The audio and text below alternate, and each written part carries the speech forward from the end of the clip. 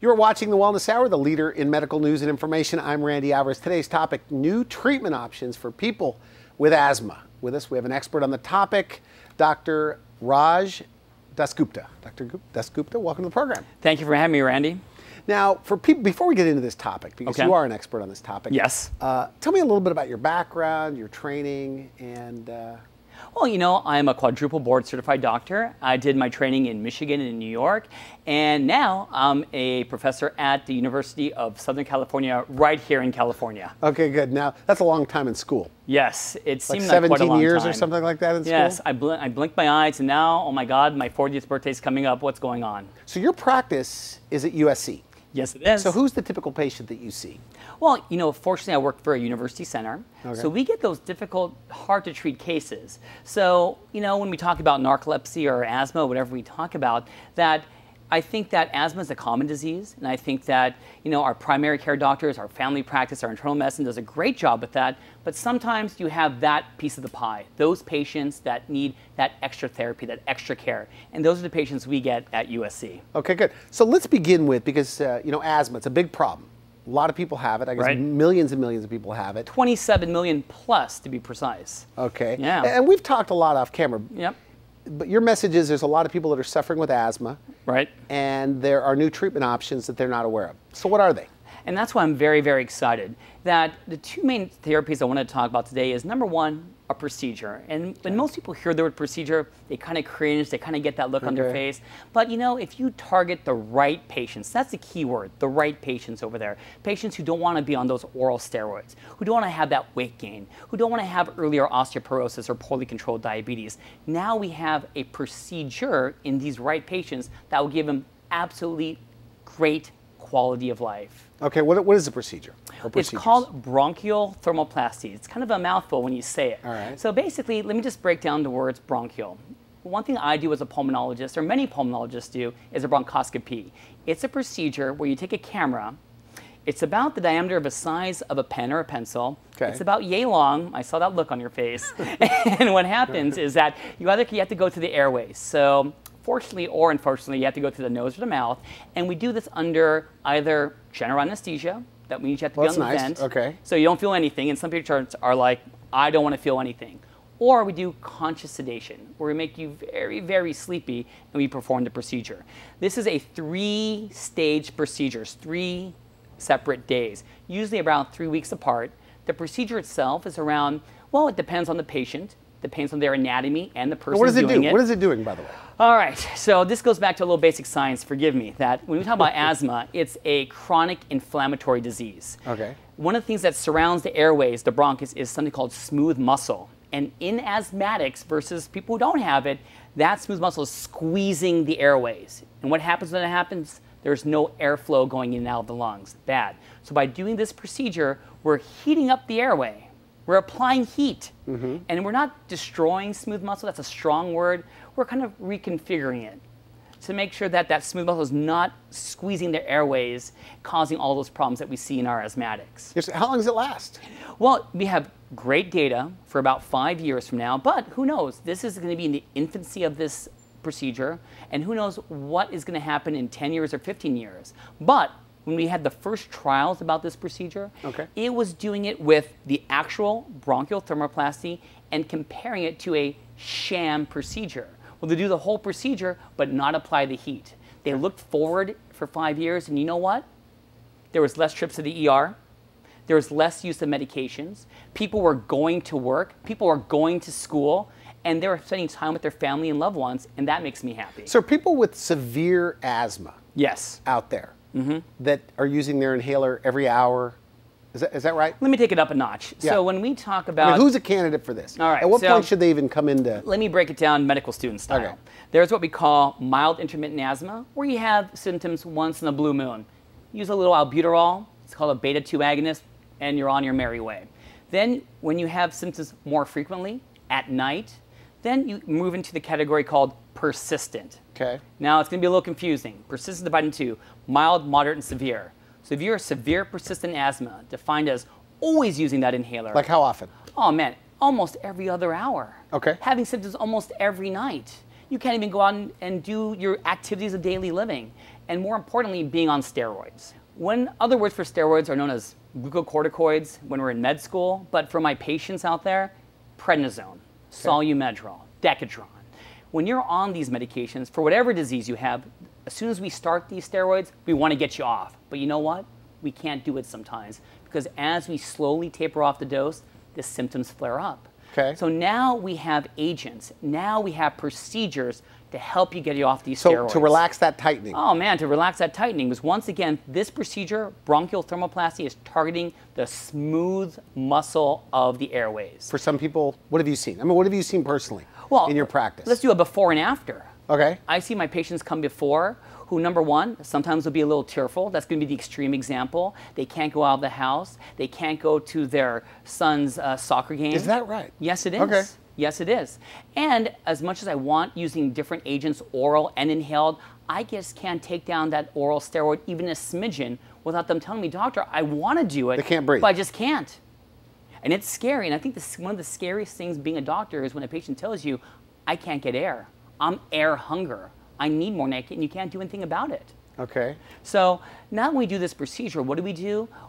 Not only do we do this bronchoscopy, there's actually something I put through my bronchoscope, going back to what we were talking about. Mm-hmm. And it's a catheter that has a heating probe at the tip. It heats up to around 65 degrees. And what does that mean when you say 65 degrees? My analogy is kind of like a warm cup of Starbucks coffee. And we go into each of the lobes of the lung. So back to some basic anatomy, we have a right and left lung, three lobes on the right, two lobes on the left.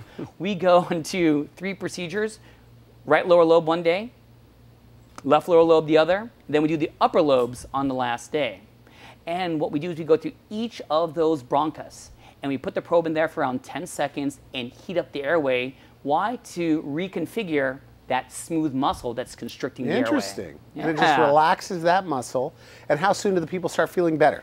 Randy, that's a great question. So, you know, with every procedure, there's benefits, but you got to know about the risks. and You got to know about Okay, what you're going to but, feel. but but ideally, like what have you heard? Not heard. What have I seen? Yeah. So before we have the procedure, you need to be on some steroids a little bit. Why? Bear with me here. Because right after the procedure is done, you may get a flare up of the asthma. So if anyone leads you the wrong way and says, "Oh, just do the procedure. Let's just do one lobe. You're great," that's kind of misleading the And that's happening? No, I have to say I can't speak for the entire uh, United States, but I'll say that myself, my partners do a great job, and we pre-medicate our patients to let them know that Okay. right after the procedure, you may not feel the best, but after the three procedures are done, that's when you'll notice the better quality of life. You're not picking up that rescue inhaler. I'm tapering down. So you've had people that said, you know, every other hour they're using an inhaler, and now they're using it when? Like, what's your your best story? "Oh, I would say monthly." Really? Yes. So like once a month using And the of inhaler. course, they're going to have it. You know why? Because patient safety first. You're always going to oh, have your acute relief inhalers at all times, no matter But what happens. What does that mean? Now, I don't know that much about asthma. Yeah. I haven't been hanging out with asthmatics. What does that mean to them if you if they're doing it every every hour or every other hour, Mm-hmm. Yep. and now they're doing it once a month? Does it affect what their energy, their overall life? They could do more. You know, What having that having that feeling in the back of your mind that that next hour, when that cat comes through the door, when the pollens come up, that I'm going to run to the ER, and have when you go to the ER and you have an asthma attack, hopefully it will be something where a few of these bronchodilators, maybe some steroids could treat you. But you know, ever having to be on a ventilator, having to think about that, worry about that, that's quality of life. Having to miss your work, your job, So they feel like regular quality people. of life hey, you know what? They are back to having a normal life in the sense that asthma, chronic disease. Asthma doesn't have a cure, and I wish it did, because you know what? I would be on that bandwagon. But what we can do here in America is actually control the asthma. This is another weapon that we have for that Okay. pie that we weren't controlling before. So to qualify for this uh, medical treatment, yeah. uh, what you have to what? Well, number one, I hope you see a pulmonologist, and it doesn't even have to be me. See a pulmonologist and say, hey, I heard about this procedure. Am I someone that can't get off those steroids? Am I someone that's having symptoms at night, symptoms during the day? Am I having to rush the ER more times than not? This is where you have to approach your doctor. There is always going to be some tests that we order, some lab work that we order, and you may be a, a candidate Insurance for covers this? You know what? That's now in this day and age, that's a whole nother topic. But- but it's covered? you know what? I have patients in county. So I work at University of Southern California, and I'm very proud of that. We have two hospitals, three hospitals that we're associated with. We have Keck and we have our LA County hospitals. And I'm very proud to say I do also treat patients at county. And yes, we have patients there that are treated. Okay, so ask your doctor about, and what's the name uh, of it? We'll put it at the bottom of the street. thermoplasty. Okay, ask your doctor about. We, we have about a minute left. So Yeah. what else? You know what? There's Any other hope for these asthmatics? Yes, and I'm sorry we only have a minute left. There's something called Xolair. It's been Okay. around for uh, greater than 10 years now, but just the name and the procedure hasn't been out there. It's a subcutaneous shot, and once again, shot. Some patients will cringe a little bit, but it attacks the fact that in asthmatics we have an antibody called IgE. It attacks a cell called a mast cell that releases histamine. And many people know histamine, runny nose, watery eyes, that's why they take these antihistamines. Now, in our severe asthmatics, this is a medication we give once every three to four weeks, helps their symptoms. So they go to the doctor. You you give them the shot, or they do it themselves. No, it has to be given at a professional doctor, such Okay. as a pulmonologist or allergist. Why? As of everything, you do have a worry about a reaction that occurs, and you have to be in a setting where if you do get a reaction, though uncommon, someone's there to treat it. But the people that this works for, yes. what do they say? you know what? I'm tapering down the steroids. Thank you for referring me. This was a life saving treatment that was not offered to me in the past. Now, what if a, a, somebody with asthma? Yes. They have their regular checkups, and they've never been told about the two procedures you were talking about. Correct. And They, you know they may get frustrated. Why weren't they? And it's no one's fault because you know what? This is why I did training in pulmonary medicine. I hope I am the goalkeeper for pulmonologists. That I think our family practice and trauma medicine do a great job with first line, but I think that if they're having persistent symptoms after exhausting common things are common, this is where maybe going to a pulmonologist would So be I understand how it works. So, Yep. so somebody with asthma usually goes Yes. to their primary care physician. Correct. And this physician manages and keeps it under control. Yes. And unless the patient is just complaining up a storm, Correct. they're not going to make any changes. Correct. And you know what? I would never So- want to mislead anyone and say this is first line to minute Yeah, no, asthma. But, But if you're using your inhaler every other hour, exactly, this do they all- need a referral to see somebody like you? You know what?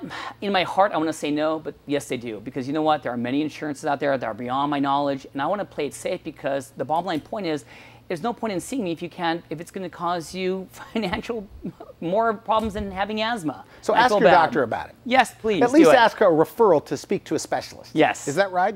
You- you nailed it right on the head and I right know there. you want to be positive in Yes. this interview, but do you think there's a lot of people out there that don't realize that they have access? They can actually request to speak to a specialist that are not being.